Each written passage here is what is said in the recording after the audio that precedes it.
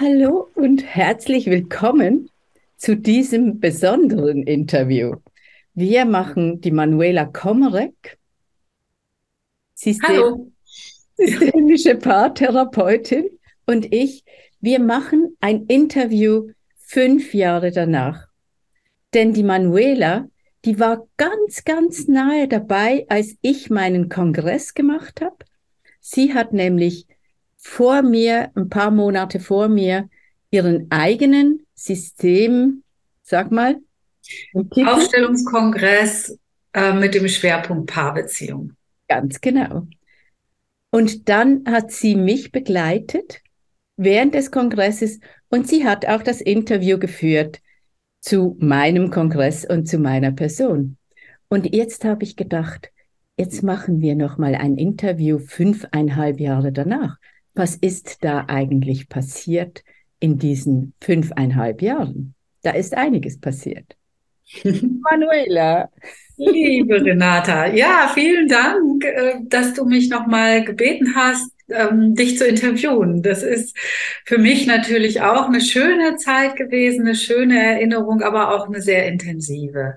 Und ähm, ich denke, für die Menschen, die hier jetzt zuhören möchten, ist es auch eine gute Frage am Anfang. Was hat dich überhaupt bewogen, von der bis dato Offline-Welt in diese Digitalisierungswelt zu gehen und einen Kongress zu machen? Das war, ich, ich war ja bis 59-jährig, also bis 2016, war ich ja nur also ich war technikaffin, aber ich war nicht in dieser Online-Welt. Und das war auch nicht, nicht ganz so präsent, wie das heute ist. Das hat ja total Fahrt aufgenommen.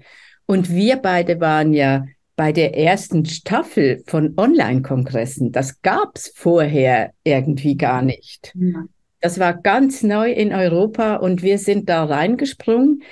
Wir rühmen uns, Pionierinnen zu sein.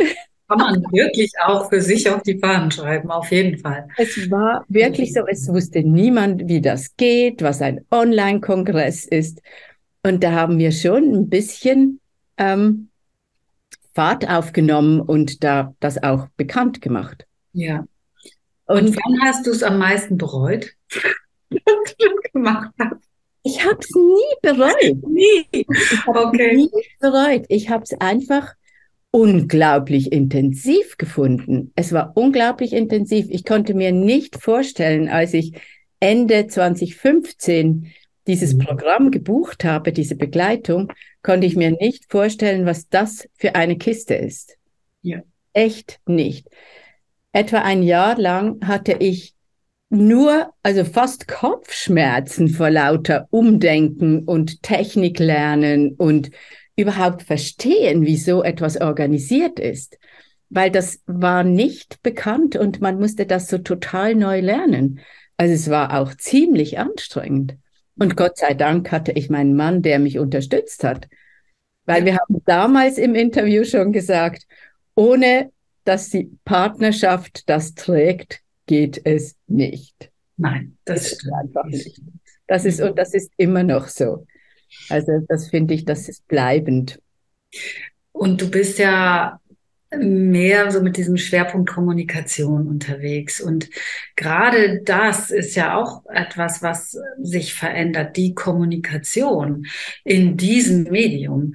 Was ist für dich so der, der vielleicht größte Unterschied zwischen ich sitze mit den Menschen bei mir oder ich erreiche digital ähm, dann, also natürlich mehrere hundert im Vergleich zu vielleicht ein paar wenige. Aber was noch in deiner Kommunikation, in deiner Wahrnehmung? Das ist eine interessante Frage. Das hat sich entwickelt, auch durch Corona. Ich hatte ja einen Unterrichtsstopp. Ich durfte, ich durfte nicht mehr unterrichten. Und für mich war von einer Nacht auf den nächsten Tag klar, dass ich alles auf Zoom umlege und das für mich kein Problem ist. Und ich habe mich da damit auch gut durchgebracht. Also viele anderen konnten ihr Einkommen nicht mehr generieren und das war bei mir nicht so. Ja. Und das, was ganz interessant war, ist, je mehr ich dieses Medium verstanden habe, desto kleiner wurde der Unterschied. Ah, das ist, das ist was, was, gab es zu verstehen? Weißt du es noch? Also ja, ja, ich weiß genau, was es zu verstehen gibt. Ja. Ich habe mich da sehr ähm, neugierig und gleichzeitig auch vorsichtig dran gewagt, weil so meine Kurse sind ja so unterrichtet, dass wir einen ganz, ganz sicheren, gleichwertigen und sehr getragenen Raum erstellen. Und am Anfang war meine Annahme, meine eigene Annahme, dass man das über Zoom nicht hinkriegt. Mhm. Und am Anfang war das auch ähm, weniger stabil, bis ich gemerkt habe, aha, man kann tatsächlich wie im normalen Kurs vor Ort üben. Man kann, äh, man, man kann ganz verschiedene Dinge machen mit diesem Zoom und das geht alles. Und Zoom hat sich natürlich auch entwickelt in dieser Zeit, oder? Das war, das war quasi damals noch Steinzeit, als wir unsere Kongresse gemacht haben. Und mhm. inzwischen ist das wirklich sehr viel variabler geworden. Mhm. Und inzwischen äh, begleite ich auch meine Online-Trainings, also diejenigen, die ich aufgenommen habe in der Zwischenzeit, ein Kommunikationstraining und ein Intuitionstraining. Und es ist wie in den Kursen vor Ort. Okay, also du Menschen, merkst so nicht den Unterschied. Die Menschen geben mir die gleichen Feedbacks. Mhm. Äh, die Menschen fühlen sich genau gleich getragen. Und das, was für mich wichtig war, ist, dass ich innerlich dasselbe mache und nicht annehme, dass das nicht geht. Okay, also deine innere Haltung ist das A und O, wissen wir beide ja auch, aber selbst äh, digital ist das das Wichtige. Also deine Haltung vorher, das kann ja nicht gut gehen, hat dann auch für Störungen gesorgt, das ganze Internet beeinflusst und jetzt, wo du eine andere Haltung hast, äh, geht es anders. Es ist wirklich total interessant und wir haben äh, während der Zeit, ich hatte zweimal einen ganzen Winter, ein halbes Jahr, in denen ich äh, die Kurse auf Online umlegen musste. Und immer im Januar habe ich ein Modul über Eskalation und dort findet auch ein Training am Sonntagnachmittag, ein Training mit einer Selbstverteidigungsexpertin statt, um zu zeigen, was man macht im öffentlichen Raum. Mhm. Und das haben wir immer abgesagt. Das hat, haben wir anderthalb Jahre abgesagt und dann letzten Januar haben wir gesagt, nein, jetzt sagen wir das nicht mehr ab, jetzt ist genug, jetzt probieren wir das. Ah. Und es war total einfach. Was, wie, ging, wie ging das? Also es muss ja was Körperliches sein, oder? Ja, es muss was Körperliches sein. Es war total interessant. Sie hat ihren Mann gefragt, ob er ihr zur Verfügung steht, damit sie diese Griffe zeigen kann. Und dann hat sie das so in den Unterricht umgelegt. Das ist eine total erfahrene Frau. Mhm. Also die macht das seit 25 Jahren oder sogar noch mehr und ist dritter Dan, also dritter Schwarzgurt in Aikido. Also die ist total erfahren, auch im Unterrichten. Und dann hat sie das so hingekriegt, dass wir einzeln zu Hause diese Selbstverteidigungsübungen gemacht haben und den Eindruck hatten, wir sind in der Gruppe. Mhm. Okay, also hast du alles, was du auch äh, ohne, ohne Internet oder eben nicht digital äh, lehren konntest, auch, auch digital umgesetzt. Hat sich trotzdem was verändert an den Inhalten?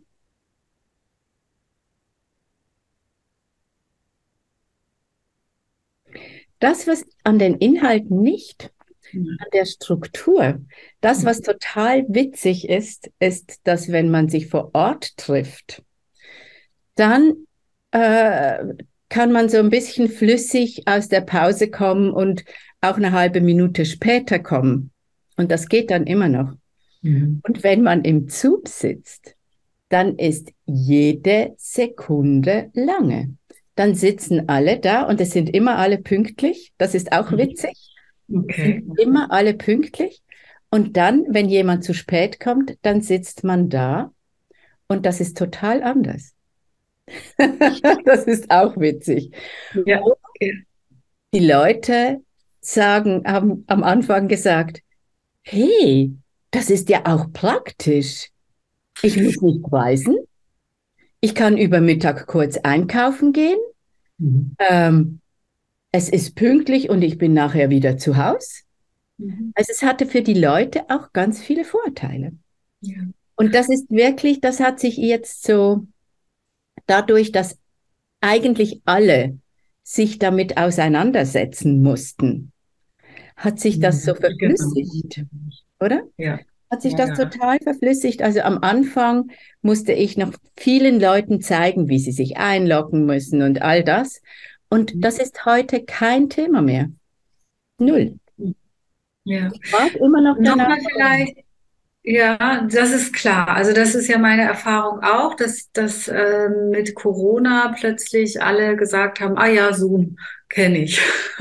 Das war ja vorher nicht so. Hat niemand ähm, gehabt, genau. Nein, nein, Zoom-Hilfe geht gar nicht. Und, und äh, hast du so das Gefühl, dass dass trotzdem was verloren geht. Also wenn man jetzt online, offline, weil es gibt ja schon nochmal den Körper, du arbeitest auch mit dem Körper. Ähm, jetzt sagst du mir, ja, ich kann auch äh, Selbstverteidigung online äh, weitergeben oder lehren. Ähm, gibt es trotzdem da auch vielleicht was, was nicht geht oder wo du merkst, dafür brauche ich die Präsenz? Ja. Was nicht geht, ist, dass man einander umarmt dass ja. man sagt, oh, ist das schön, dass ich dich wieder sehe und man einander umarmt. Solche Sachen, das fehlt. Das mhm. ist so.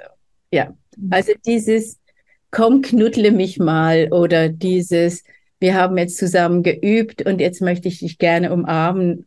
Also wirklich dieses ganz physische, sich in den Arm nehmen oder in der Pause, in der Pause stelle ich manchmal Räume zur Verfügung Mhm. Oder?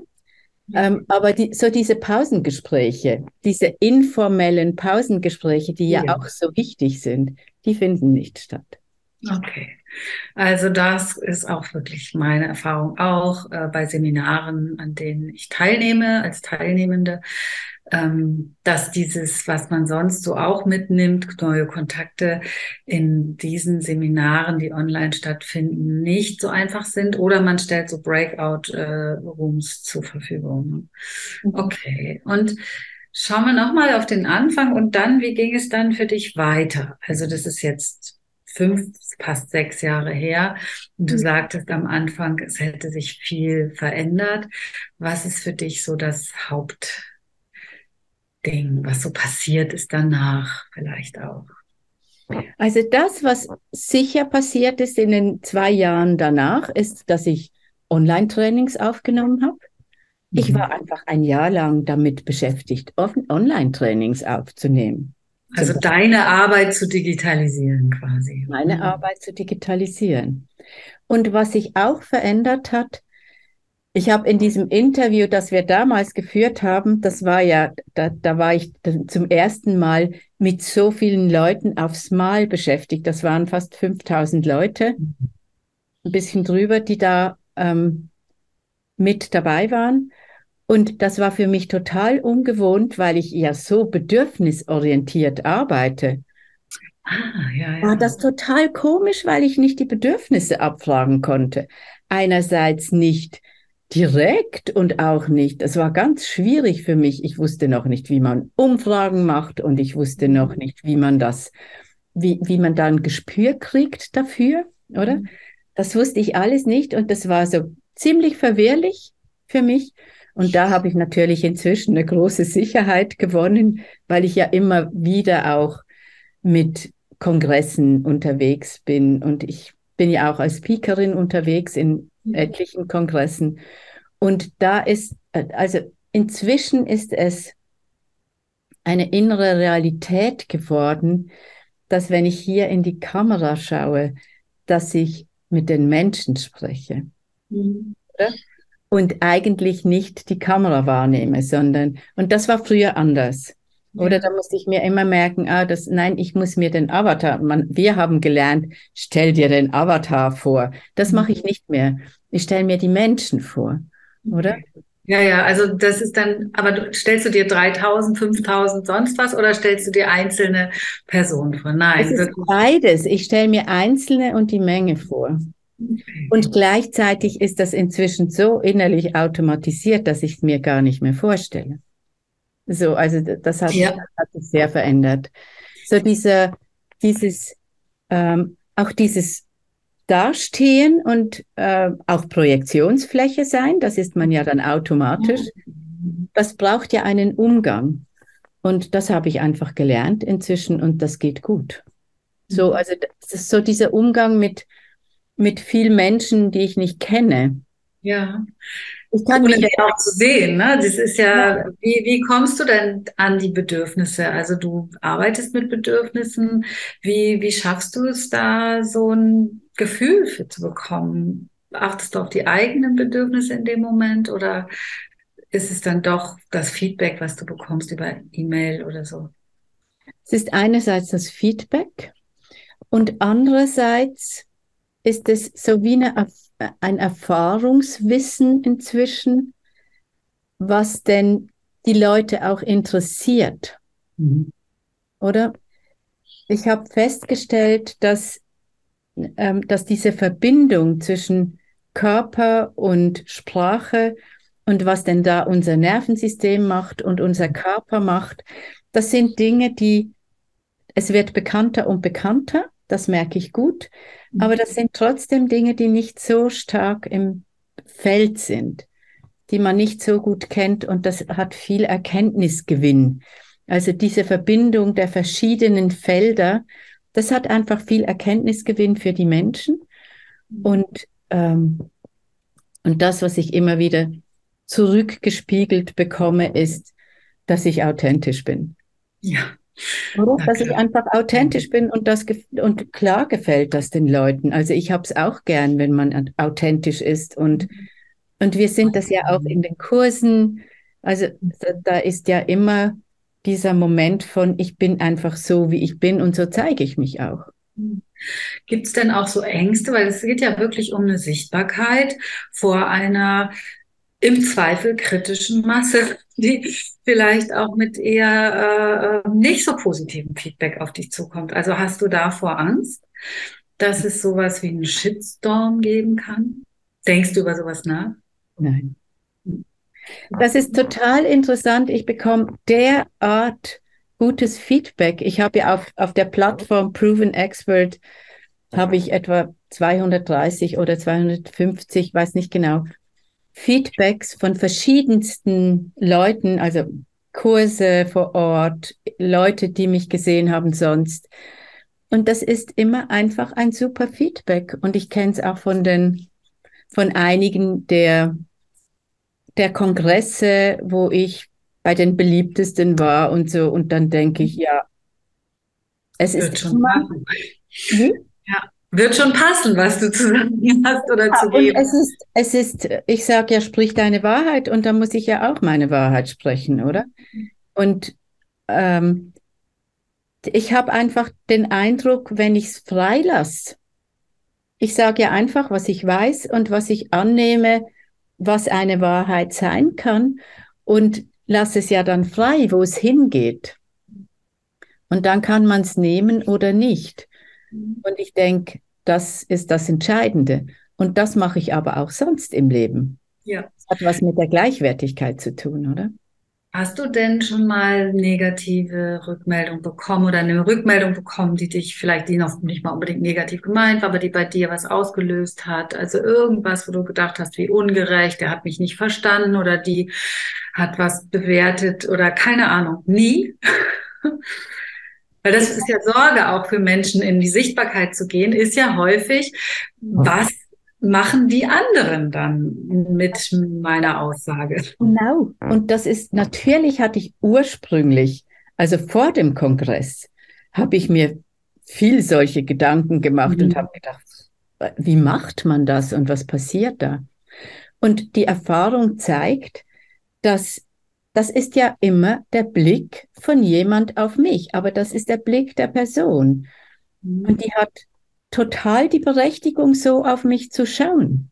Okay. Also das macht bei dir nicht irgendwelche Schwierigkeiten, um das wieder einzufangen oder deine Emotionen äh, einzufangen, vielleicht eine Empörung oder irgendwas. Nein. Mhm. Mhm. Schön, Nein. interessant. Das ist, ja. das ist etwas, ich musste das natürlich lernen im Laufe meines Lebens, ähm, weil ich war, ich hatte wirklich Angst vor Kritik. Mhm. Bis ich verstanden habe, ich habe das dann immer persönlich genommen, bis ich verstanden, also schon lange her, aber trotzdem, ich kann mich erinnern, bis ich verstanden habe, dass das ja, dieser Blick auf mich hat ja etwas zu tun mit der anderen Person und wie die gestrickt ist. Und dann ist klar, dass ein Blick auf mich auch ähm, etwas beinhalten kann, was für die Person nicht einfach war. Ich habe mhm. zum Beispiel ganz selten, aber es kommt vor, dass jemand, wenn sie mit den Trainings beginnen, dass das, äh, dass das so wie eine innere Erschütterung gibt. Die mhm. kommen dann später schon wieder in die Trainings, aber im ersten Moment sagen die, leave me alone, oder? Ach so, okay. Also richtiger Widerstand, nicht nur Erschütterung. Ja. Ähm, und dann weiß ich, okay, jetzt ist da ein Prozess im Gang. Und die kommen normalerweise etwa nach einem Jahr dann wieder in die Kurse und sagen, ich habe es jetzt verstanden. Oder? Okay. Und ich habe ich hab ja als Körpertherapeutin war ich ja auch Prüfungsexpertin über viele Jahre. Und das war noch ein bisschen näher, weil da habe ich die Leute wirklich beurteilen müssen. Ich habe sagen müssen, das reicht, um sich selbstständig zu machen und quasi ähm, jetzt damit zu arbeiten oder es reicht nicht. Und da ist, da war, da waren die Leute manchmal richtig wütend auf mich, wenn ich gesagt habe, das reicht nicht. Klar. Und da habe ich aber häufig so nach vier, fünf Jahren Briefe bekommen, die gesagt haben, liebe Renata, ich habe jetzt verstanden, was du mir damals gesagt hast. Und ich habe auch verstanden, weshalb du mir diese Approbation zu diesem Zeitpunkt nicht gegeben hast. Mhm. Also diese Erfahrung habe ich eben auch, oder? Ja. Und dann bin ich einfach da und bin präsent.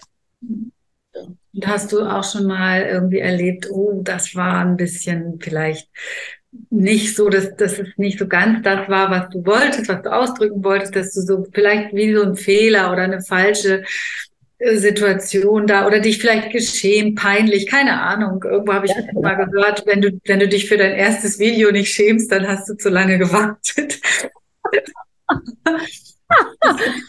Was ich natürlich lernen musste, war mich dauernd zu sehen in diesen Videos. Ja. Also das war mhm. etwas, was ich in diesem letzten Video, das wir vor fünfeinhalb Jahren gedreht haben, habe ich auch gesagt, ich bin froh, wenn ich mich jetzt mal nicht mehr sehen muss, oder? Also ja. das, das war natürlich auch so eine, eine Angewohnheit von, wie schaue ich auf mich. Wenn ich in diesen Interviews bin. Und da habe ich tatsächlich auch natürlich das Feedback und die Berührung der Menschen hat mich wirklich auch beruhigt. Okay. Das hat mhm. mir wirklich, das hat mir gezeigt, das ist der richtige Weg. Und die Leute waren ja während des Kongresses sehr berührt. Mhm. Also ich habe sehr berührte Feedbacks bekommen. Mhm. Und, und wenn das passiert, ähm, dann ist es okay. Dann kann ich sagen, okay, ich finde jetzt das nicht ganz so schön, wie ich ausschaue oder irgend so. Okay, das ist was anderes. Ne? Dieses Aussehen, klar, man guckt erstmal, oh, meine Haare. Hm. Aber. genau. Oder? Also ja. mit der Zeit bekommt das auch so ein bisschen was Flüssiges und was Selbstverständliches. Und das hat sich natürlich sehr verändert, oder? Ich kann mich erinnern an das erste. Du warst die erste, die ich interviewt habe für den Kongress, oder? Und dann, dann war ich noch so ganz schön angezogen und ganz gestylt und ganz natürlich. aufgeregt. Und Weil so, jetzt gleich die Expertin kommt. Genau. Ach ja, schön. Ja, so war das. Und Das hat sich sehr verflüssigt. Also inzwischen ist es okay, es ist halb drei, ich setze mich hin, es geht los. Ja. Es ist viel, viel Selbstverständlichkeit und, und da bin ich natürlich auch froh drum. Ja. Und selbstverständlich bin ich froh um diese Ausdehnung, weil das äh, wirklich einfach hilft, diese Message ähm, rauszubringen. Das ist Mhm. einfach toll. Planst du denn weitere digitale Produkte oder womöglich noch einen Kongress irgendwann? Im Moment, ich bin zwischendurch, bin ich ein bisschen verführt, an einen Kongress zu denken, aber das mache ich nicht in der nächsten Zeit. Oh, Das- okay, interessant. Also ich habe so zwei, drei Leute im Auge, die ich anfragen möchte, ob sie mir ein Interview geben möchten. So, aber die werde ich dann integrieren in dieses Kongresspaket. Ein jetzt. neuer Kongress, sondern neue Interviews, die dazu. Genau. Ich Okay. habe im Moment einfach keine Ressourcen, weil ich am Schreiben bin. Ich Ja, habe jetzt in zwei Büchern mitgeschrieben und, ähm, und ich bin eher im Moment am Schreiben als am einen Kongress veranstalten. Und ich finde, es hat so viele Kongresse, Mhm.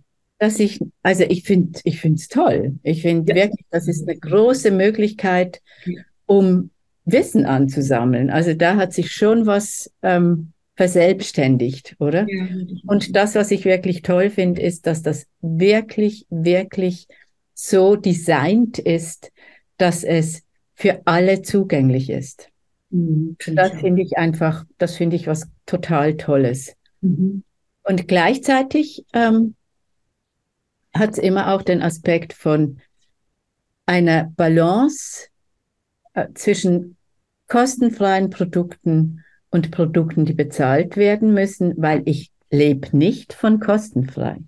Ich biete das Nein. gerne an, aber ich lebe nicht davon. So. Mhm. Also da brauche ich schon auch eine Wertschätzung dafür, Mhm. dass ich diese Arbeit mache. Ja, du hast vorhin gesagt, Ressourcen fehlen, um jetzt einen Kongress zu machen. Was würdest du so sagen, falls jemand vielleicht drüber nachdenkt, selber einen Kongress zu machen, welche Ressourcen braucht es vor allem, wenn, wenn man so am Anfang steht oder in dieser Überlegung ist, Kongress oder nicht? Ich finde, was es vor allem braucht, ist Biss. Ja. Also man muss das wirklich wollen. Mhm. Das ist so die Headline irgendwie. Man muss das wirklich wollen. Ähm, ich finde, man muss sich begleiten lassen. Ich finde, man muss Geld einplanen. Wir haben das ja noch so gelernt, dass uns gesagt wurde, wir können das ohne Geld machen. Das finde ich, das stimmt nicht. Nein. Weil man braucht ein Team, damit man nicht total tot umfällt nach dem Kongress, oder? Ja, ja. Also da finde ich, das braucht es. Man muss, man muss wirklich ge auch Geldressourcen zur Verfügung stellen und, das, und da gewisse Sachen auch abgeben, sonst ist man viel zu ermüdet. Und man muss wissen, was man denn rausbringen möchte. Man braucht eine Mission, man braucht eine. Message. Ja, nicht Oder? nur den Kongress um des Kongresses willen. Ne? Genau. Und ich, ich habe ja damals den Kongress gemacht. Es, es haben mir dann Leute gesagt, die mit Marketing zu tun haben, die haben gesagt, ach, das ist aber toll, dann hast du dir eine Liste gebildet, also Adressen gesammelt. Ja, Und ich, ich habe die angeschaut. Natürlich habe ich das gemacht, aber ich habe die angeschaut und habe gar nicht verstanden, wovon die sprechen, weil ich wollte einfach das rausbringen, was ich zu sagen habe. ja, ja. Also, es war ein total anderer Hintergrund und ich finde, man muss den Hintergrund haben, ich habe was zu sagen und das möchte ich gerne mit der Welt teilen. Okay, ja, das, das sehe ich auch so. Und jetzt äh, gibt es ja diesen Kongress und ähm, du bist viel digitalisiert. Hast du mal drüber nachgedacht, was damit so in Zukunft passiert? Das ist ja jetzt so in irgendwie so, so in Stein gemeißelt und immer abrufbar, auch in, ich weiß nicht, 100 Jahren noch oder so. Hast du darüber nachgedacht? Oder ein digitales Erbe vielleicht auch? Bin mir das tatsächlich manchmal am Überlegen. Es ist ja nicht nur ein digitales Erbe, sondern es ist ja auch dieses Wissen der äh, Präsenzkurse. Also das, das ist ein, also meine Firma, meine GmbH Das ist ja ein Paket. Und ähm, ich bin noch ein bisschen unschlüssig, aber ähm, würde ich sterben jetzt heute oder morgen, ähm, dann habe ich Leute, die das über, zumindest in die Hand nehmen. Mhm. So. Aber ähm, ich bin, ich bin eigentlich, weißt du, ich bin immer noch im Aufbau. Ich habe ja, ist ja richtig. So ja, ich bin ja 64 geworden. Das ist, das ist Pensionsalter in der Schweiz, oder? Wir und, müssen länger. Und das nicht. Wieso, was soll ich denn machen? Ich kann nicht aufhören. Das geht nicht. Also ich, ich habe ein bisschen, ich, ich muss manchmal ein bisschen verlangsamen, aber mhm. das hat mit innerer Realität zu tun auch. Und ähm, damit ich mir diesen Raum gebe, auch zur eigenen Entwicklung. Und auf der anderen Seite hat mir vor etwa zwei oder drei Jahren, ich lasse mir ja manchmal so Horoskope lesen, einfach aus Neugierde.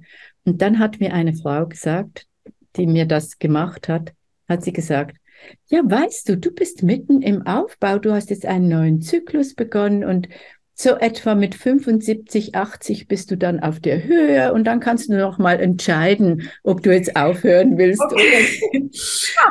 oder okay. Genau, so ist es geplant, oder? Das heißt, wir können uns alle noch auf ganz viel von Renata freuen. Ja, und, und wo hast du im Moment so in deiner Arbeit den Schwerpunkt? Hast du so, kannst du was sagen, wenn du so übers Buchschreiben nachdenkst oder wohin du so schreibst oder denkst? Was ist so also, dein Der Schwerpunkt, der sich nochmal deutlicher rauskristallisiert hat. Also rein äh, administrativ habe ich meine Schwerpunkte immer noch, habe ich meinen Schwerpunkt immer noch bei den Präsenzseminaren.